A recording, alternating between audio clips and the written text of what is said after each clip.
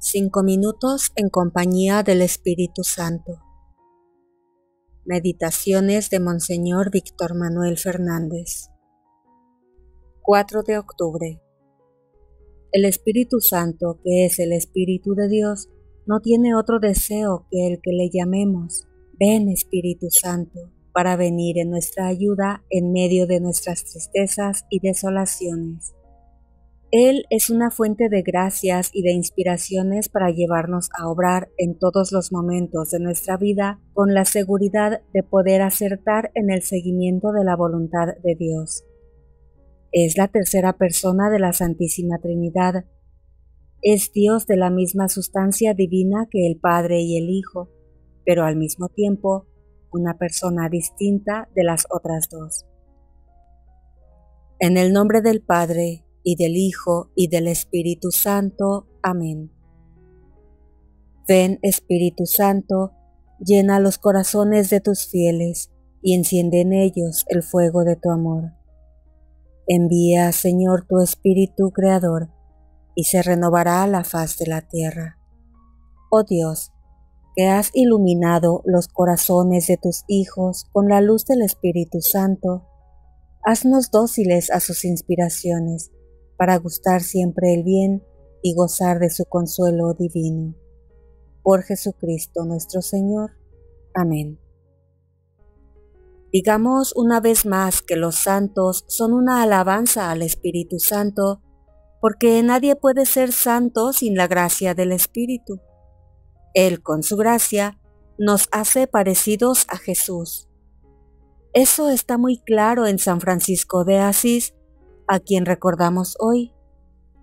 El pobre de Asís es uno de los santos que mejor reflejan la pobreza, la alegría y el amor fraterno de Jesús, pero la hermosura de su corazón podría expresarse sintéticamente como apertura.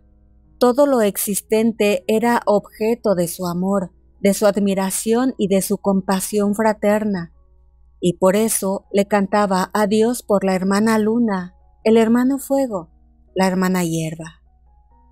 Así, vemos cómo el Espíritu Santo no nos encierra en nosotros mismos, sino que nos pone en comunión fraterna con la realidad. Su corazón pacificado no se resistía ni se llenaba de tensiones ante las contrariedades de la vida o de la naturaleza, sino que reaccionaba con un espíritu de feliz aceptación. Eso lo convertía en un modelo de permanente alegría. Su mirada de amor cautivaba y exhortaba a vivir de otra manera. No necesitaba insistir ni presionar a los demás para obtener una respuesta generosa. Servía con sencillez el banquete del Evangelio que atrae por sí mismo por su propia hermosura. Movido por el Espíritu Santo, Francisco salía permanentemente de sí mismo para adorar, para reconocer la belleza de las cosas, para servir con humildad a quien lo necesitara, para perdonar a quien lo ofendía. Su pequeña existencia, por estar completamente apoyada en el Altísimo y Buen Señor, era una inestimable combinación de ternura y de vigor. Su mensaje y la belleza de su testimonio provocaban conversión y reconciliación fraterna por donde pasaba. El beso que dio a un leproso refleja su capacidad de mirar a los demás con la mirada de Dios. Y el Espíritu Santo lo identificó tanto con Cristo que le regaló las llagas que recibió en las manos en el maravilloso encuentro con Jesús que vivió en el Monte Alvernia. Es bello dejarse transformar por el Espíritu Santo de esta manera, porque mientras más nos parecemos a Jesús, más alegría podemos experimentar en la vida. Invoquemos al Espíritu Santo para que podamos vivir esa transformación. Oración.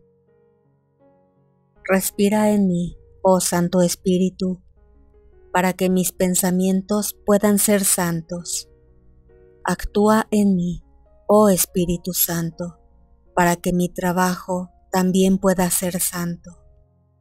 Atrae mi corazón, oh Espíritu Santo, para que solo ame lo que es santo.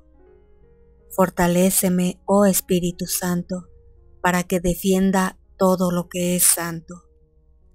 Guárdame pues, oh Espíritu Santo, para que yo siempre pueda ser santo. Amén. En el nombre del Padre, y del Hijo, y del Espíritu Santo. Amén. Gracias por acompañarme. Hasta mañana.